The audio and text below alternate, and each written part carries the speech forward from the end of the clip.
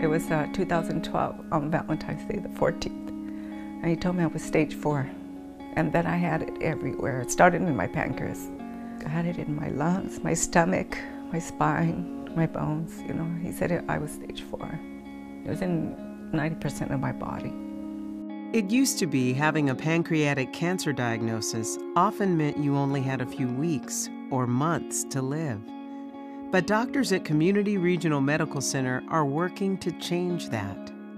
So, you know, we asked him how much time, and Dr. Chaudhry told me, no, I can't answer that. He says, but if you're willing, he said, to track it aggressively with me, he goes, I would like to do that. And I said, yeah, when? When do we start? I told him, and he said, as soon as possible. I have people whom I have diagnosed uh, with very early stage pancreatic cancer with stage 1 disease and they have survived. They're, they've done, gone on to do their day-to-day -day life and I have on the other side of the um, story people who have had stage 4 disease or very advanced disease surviving more than three years. We are helping people to live longer. So I started the following week and uh, we attacked aggressively and we started and after four rounds of chemo, they rescanned me and 85% of the cancer was gone. My tumor has shrunk from four centimeters down to two centimeters. Technology and everything is just, you know, amazing. We have been very fortunate that over eight years that we have developed a program that not only has the skilled manpower, but also has the technology and the uh, equipment in order to make those diagnoses.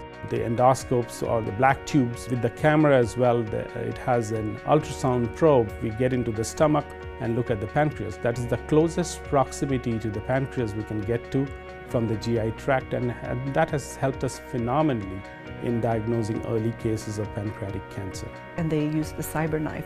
And I had heard about the CyberKnife. And when Dr. Chaudhry explained it to me, he told me it won't affect your other organs. And so the Simon knife was also a success.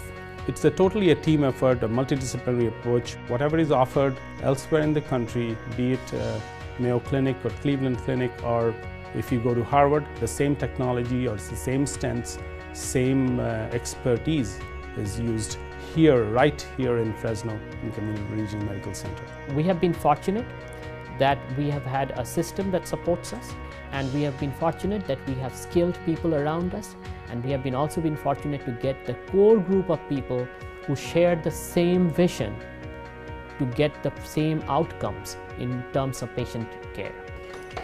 There are so many resources there. I mean, they helped me from the get-go from financial help. If I needed to get picked up, to get to my treatments, I mean, just everything and in anything. Dr. Kundu, Dr. Chaudhry would say, it is a miracle. I would always tell them, you know, it's in God's hands, you know, and He's guided me here to you. I know that they were so passionate about what they were doing, and they are, you know, that they would go to any lengths to do what they can for you. I love my job, I have passion for it. It is very hard to give a diagnosis of cancer, but it's uh, at the other end, it is nice to at least help people. We are very geared to be very patient centric and we want to give people empathy besides medicine.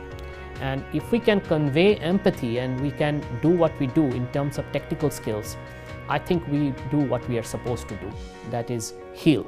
People with difficult diseases must not lose hope. I always believe where there's hope, there's life.